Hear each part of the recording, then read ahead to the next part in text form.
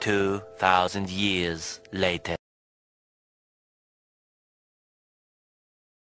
Six hours later. A few moments later. Later. One hour later. The next day. Three hours later. Tomorrow. Two hours later.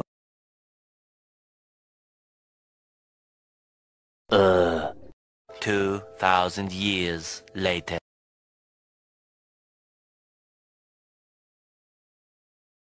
Uh.